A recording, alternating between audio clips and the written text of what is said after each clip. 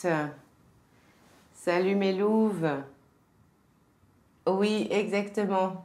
En retour de cercle de femmes, donc encore un peu euh, aïe du cercle de femmes. Ça a été hyper intense. J'étais avec des femmes euh, super inspirantes. C'était vraiment euh, exactement ce que je recherche en ce moment, c'est-à-dire de la paix intérieure.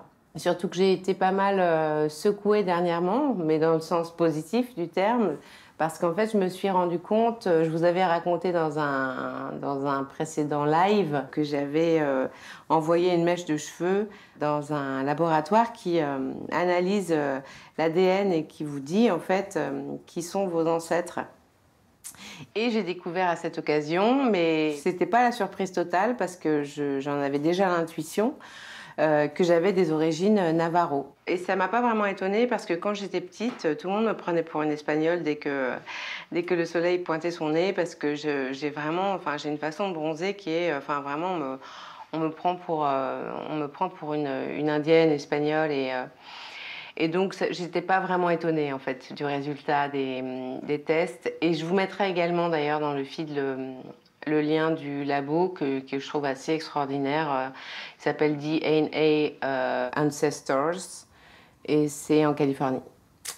Le sujet que je voulais aborder aussi, c'était évidemment euh, le sujet des, de l'appropriation culturelle parce que très vite, j'ai posté des objets rituels Navarro sur, sur mon Insta et, et très vite, j'ai eu des réactions de la part d'hommes d'ailleurs, un petit peu dans le jugement où tout de suite on m'a dit euh, attention, euh, pardon, mais ce sont des objets d'une culture spécifique et tu n'as pas à, te les approprier.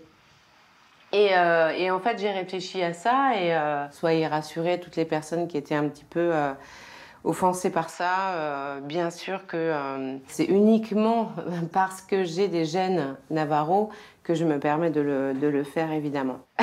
ouais, oui, je vois, je vois ton emoji. tu me diras comment, comment on chope cet emoji, je l'adore. Euh, qu'est-ce que je voulais vous dire d'autre? Sur tout ce qui est alimentation, euh, alimentation vivante, pour ceux que ça intéresse, c'est pareil, euh, j'ai deux, trois liens de naturopathes qui, qui font des, des thérapies guidées sur l'alimentation crue et, euh, et l'alimentation liquide.